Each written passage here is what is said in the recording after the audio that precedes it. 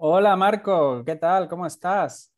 Hola Fabi, bien, bien. ¿Y tú? ¿Qué tal? ¿Cómo va Muy, todo? muy bien también, feliz año. Igualmente, igualmente para ti y para toda tu audiencia. Pues nada, muchas gracias por venir y pues vamos a hablar un poquito de tu país, vamos a hablar de Chile. Encantado. Eh, Marco, ¿cómo es Chile? Bueno, Chile es un país largo y angosto. De hecho, Chile es el país más largo del mundo, tiene 4.300 kilómetros de extensión y está ubicado en Sudamérica. Limita al este con Argentina y al norte con Perú y Bolivia. Ujú. Y tenéis también eh, la parte, una parte en la Antártida, ¿verdad? Claro, tenemos una parte en la Antártida y también tenemos una parte en Oceanía con Isla de Pascua. Entonces, la verdad tiene bastante territorio en, en- en diferentes partes, sí, sí. ¿Y dónde vives tú? Yo vivo en la zona centro-sur, en una zona que se llama Concepción, que se dice que es la puerta de entrada al sur de Chile.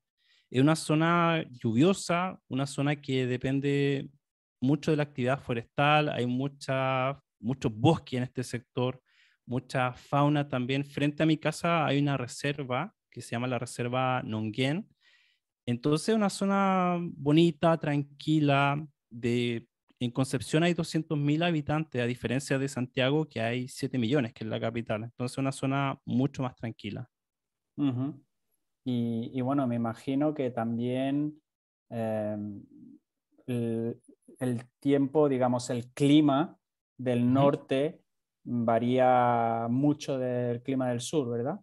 Sí, sí, lo que pasa es que Chile, al ser tan extenso, tiene diferentes climas. Al norte hay un clima desértico.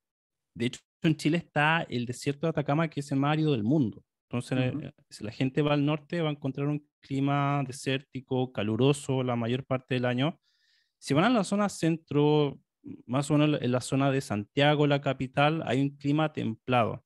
Esta zona es perfecta para los valles, con los viñedos, entonces hay muchas zonas turísticas con la ruta del, ruta del vino. Y la zona sur es más fría, hay una vegetación mucho más abundante como mi zona.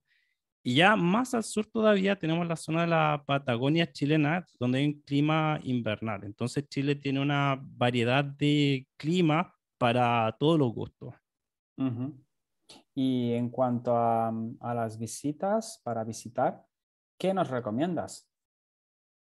Va a depender, va a depender de qué le gusta a la audiencia, porque si quieren, si quieren un clima más agradable, desértico, pueden ir a la parte norte de Chile, donde pueden ir al desierto de Atacama y, bueno, visitar una zona que se llama el Valle de la Luna, que, pero es solo desierto realmente. Si te gusta el calor y el desierto, ese es un lugar que, puede, que puedes visitar.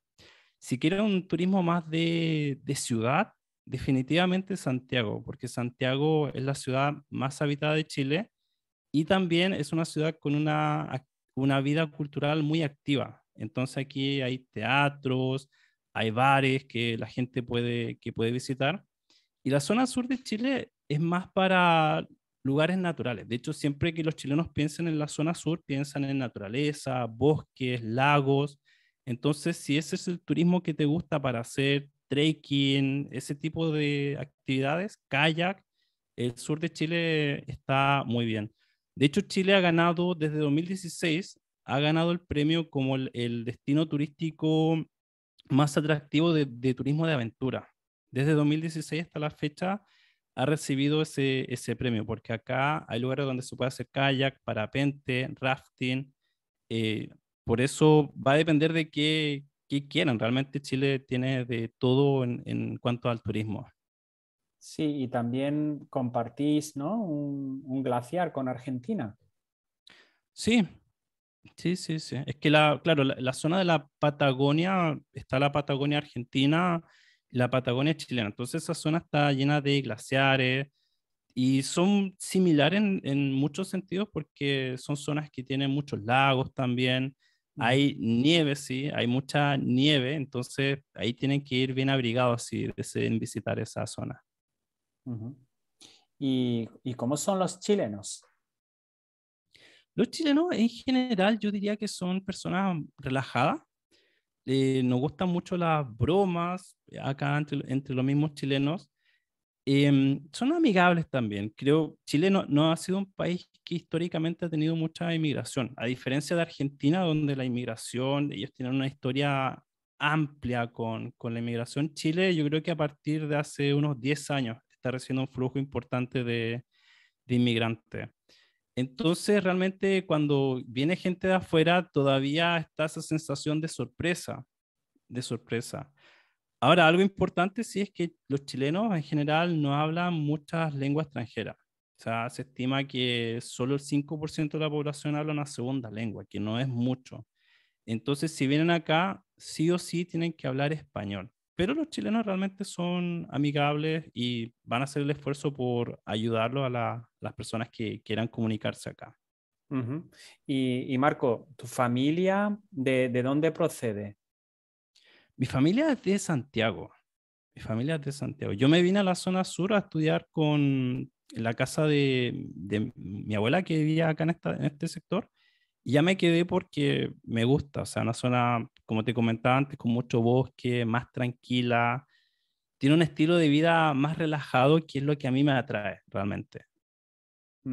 ¿Y tus antepasados? Mi antepasados eran de esta región, de hecho. Mi, mi, padre originalmente vivía acá. Esta era una zona minera en el pasado, la, la, zona de Concepción, Lota, Coronel. Era una zona de mineros. Aquí se extraía el carbón. Y mi padre a los 14 años decidió ir a Santiago. Entonces, cuando él viajó a Santiago, nací yo y después yo volví acá a los orígenes. Así que realmente estoy en la zona donde, donde, mi, donde mi padre vivía antes. ¿Y tus abuelos, bisabuelos, algunos son, eh, fueron europeos o no? Sí, lo que pasa es que como, como pasan muchas familias de Chile, tenemos esta mezcla indígena con español. De hecho, mi apellido es Fierro, o sea, qué más español que, que eso. Así que sí, pero la mayoría de los chilenos son mestizos, o sea, tenemos sangre indígena, principalmente mapuche y eh, española, claro, con, la, con, los colonizadores que llegaron en el, en el pasado. Muy bien. Em, y hablemos ahora un poco sobre los productos y platos típicos. ¿Cuáles, ¿Cuáles son los platos típicos chilenos? Bueno, platos típicos hay muchos realmente. El que se me viene a la mente, que es más tradicional y que normalmente los chilenos asocian y probablemente cualquier chileno te mencionaría, sería la cazuela chilena, que es un tipo de sopa que lleva papa, choclo o maíz, como le dicen en otros países, zapallo o calabaza, como dicen en otras partes, y normalmente tiene carne de vacuno o carne de pollo. Y esto se hace en una cacerola, de ahí de hecho viene el nombre de cazuela, ¿no? Estas cacerolas donde se prepara. Normalmente la comida de Chile tiene mm, tradición de campo, hay mucha tradición de campo, entonces por eso son comunes los animales como la vaca, el pollo, para las comidas que se preparan acá. Y otro es el pastel de choclo, pastel de choclo, que es un pastel que se hace, bueno, a base de choclo. El choclo se desgrana, se muele y se hace en una masa que después a esa masa se le pone pino. Pino es como se denomina acá en Chile al relleno de carne con cebolla y huevo. Entonces, este pastel de choclo tiene esta masa con el pino, se pone en el horno y queda una masa, o sea, queda un, un producto con, con, una superficie crujiente que, que, es delicioso. Así que si alguien quiere probar un plato chileno bueno, puede ser el pastel de choclo. Mm, sí, tiene buena pinta. Sí, y otro producto son las humitas, que en otros países los conocen como los tamales. En, Argentina, en Argentina se dice humita también. Sí, de hecho con Argentina compartimos varios nombres. En Argentina, Chile compartimos la humita, el choripán también, ¿no? Que es el chorizo que se pone en el pan ahí con, con diferentes especias. Entonces sí, sí compartimos varios platos. Y en cuanto a, la, a, los productos, la agricultura y eso, ¿qué es lo que más eh, se cultiva? Mira, en el caso de productos, Chile, en cuanto a agricultura, nosotros somos el cuarto exportador a nivel mundial de vino. Entonces tenemos una actividad eh, de agricultura muy importante con la uva, con la uva. Ah, el vino chileno es muy famoso en diferentes partes del, del mundo. Entonces, si tenemos actividad agrícola, también se, se exporta mucho arándanos de Chile, también cerezas y, bueno, otros productos que, que, se trabaja mucho acá en Chile es, el cobre. De hecho, el, el, producto principal de Chile de exportación es el cobre. El 50% de la economía de Chile depende del cobre. De hecho, es un producto que siempre está como en los debates políticos por lo mismo, porque Chile depende de, de ese metal. Entonces, Chile se podría decir que es un país minero. O sea, la, minería es la actividad importante. El 50% de las exportaciones de Chile son de cobre. Y, entonces, ¿en qué se basa la economía de Chile, aparte del cobre? Bueno, además del cobre, exporta frutas, como mencioné anteriormente, y también, bueno, pescado. Pescado. Principalmente son productos de materia prima, los que se, los que se hacen en, en Chile se exportan. Y en cuanto a la cultura, cultura y ocio, ¿qué, ¿qué, nos puedes contar? Bueno, cultura y ocio Em, va a depender de los gustos que tenga la gente. Hay culturalmente, si alguien quiere actividades culturales en Chile, tiene que ir a Santiago, que es donde están los teatros principales, hay diferentes obras. Ahí también es donde se hacen los conciertos más grandes. De hecho, normalmente no vienen a otras regiones de, de Chile, que es lamentable también, porque aquí también sería interesante tener ese tipo de, de actividades. Y sobre cosas de Chile, de, actividades como culturales, ocio, podrían visitar debajo del Palacio de la Moneda, que es la casa de gobierno, hay un centro cultural La Moneda, donde hay exposiciones de arte, de, de, también cinetecas en ese sector. Así que puede ser una recomendación para, para los oyentes. ¿Y cuáles son los, los famosos, digamos, famosos chilenos mundialmente? Bueno, yo creo que actualmente la persona más famosa de Chile debe ser Pedro Pascal. Pedro Pascal, que es el actor de The Mandalorian de Disney, ¿no? Como This is the Way. Él es el actor, ese actor es chileno. Así que Pedro Pascal. Y en el mundo de la música, Tom Araya, que probablemente no sé si mucha gente lo conoce, pero Tom Araya es el vocalista de una banda de thrash metal que es Slayer. Ah, sí. Y él nació en Viña del Mar. Así que Tom Araya también es un chileno famoso. De hecho, bueno, él actualmente tiene nacionalidad estadounidense, pero la última vez que vino a Chile, en Viña del Mar, que es la ciudad donde él nació, le hicieron un reconocimiento por su, por su trayectoria. Entonces, él sería uno de los chilenos más famosos. Y del mundo del arte diría que Pablo Neruda, un poeta que, bueno, recibió un premio Nobel, que falleció en los años 70 y que es uno de los exponentes de la literatura más importante de, Latinoamérica. Sí, sus poemas son bastante famosos. Sí.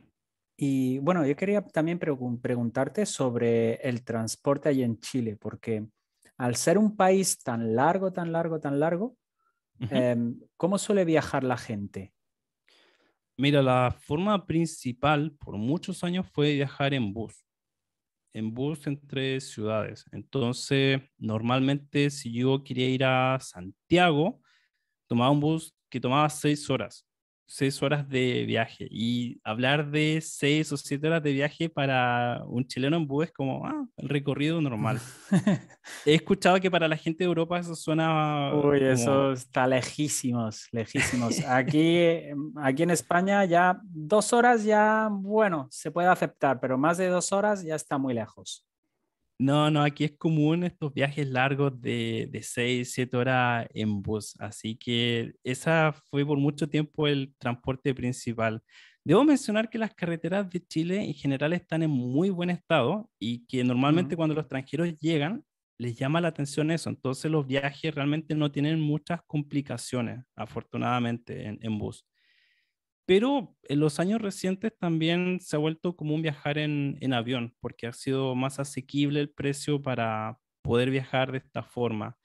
El problema de avión es que muchas de las paradas de avión tienen que hacerse en Santiago. Entonces, si tú vas, quieres, si yo quiero ir directamente a la zona norte desde donde yo vivo, primero tiene que hacer una parada en Santiago y de ahí tomar un vuelo que, que me lleva. Y es lo mismo con los vuelos internacionales. Yo desde mi región no puedo hacer un vuelo internacional. Tengo que ir a Santiago y de ahí salen todos los vuelos internacionales de personas. un sitio para hacer escala, ¿no? Obligatorio. Sí, Santiago obligatorio para, para ese tipo de escala. Vale. Y bueno, ya sabes que, que, yo quiero ir a Chile, me gustaría ir a Chile pronto. Eh, ¿Qué me recomendarías como itinerario? ¿Por dónde empezar? Mm, si ya sé que tengo que pasar por Chile, ¿por dónde debería empezar para recorrer toda Chile? Bueno, vas a comenzar definitivamente por Santiago porque no puedes llegar a otras regiones directamente. Yo te aconsejaría, si, si llegas a Santiago, ir a la zona norte, comenzar desde Arica, que es la ciudad que está en la frontera con, con Perú, en esa zona, y visitar el Morro de Arica, que es una elevación de tierra que está presente ahí, donde se puede ver toda la ciudad.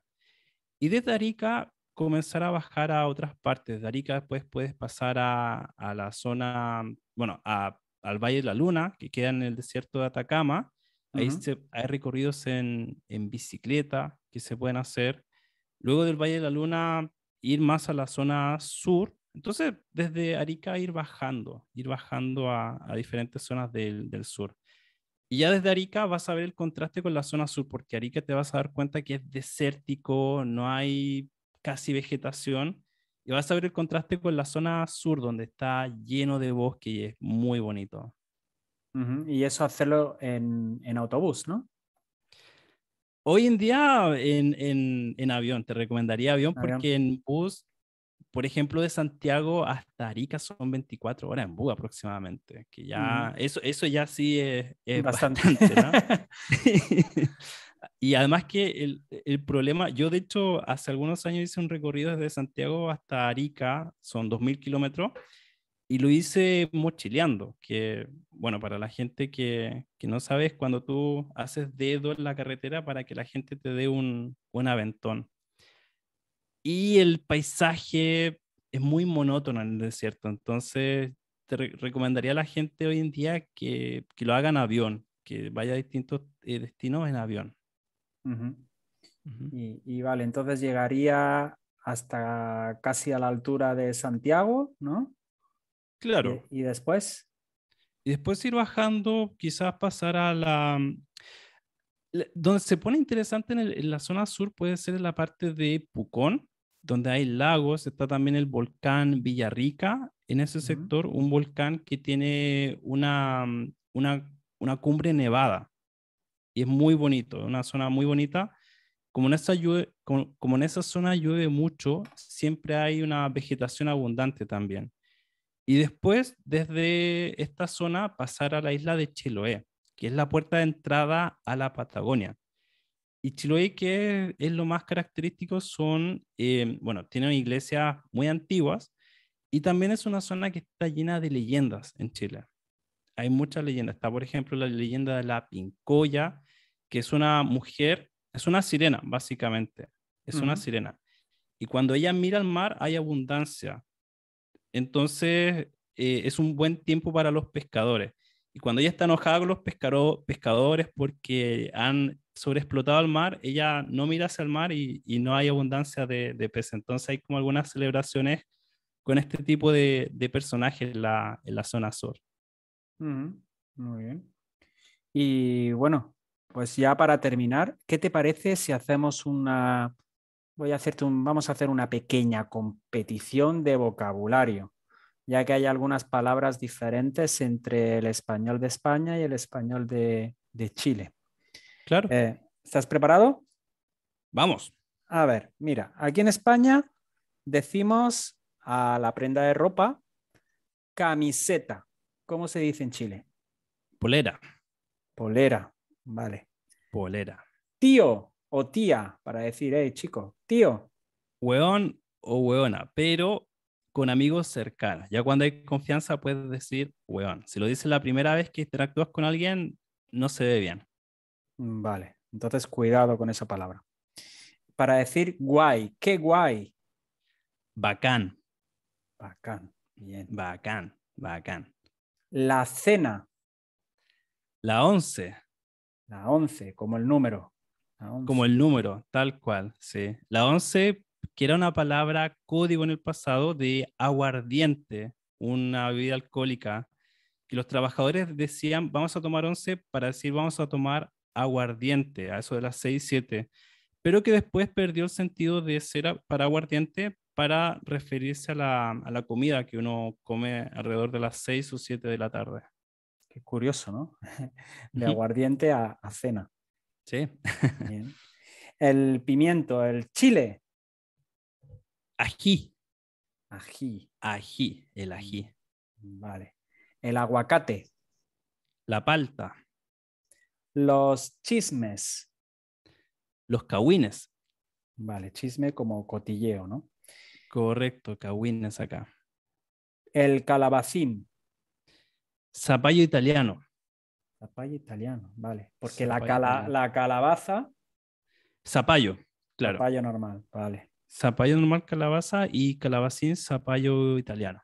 ¿Y la fruta fresa? La frutilla. Frutilla.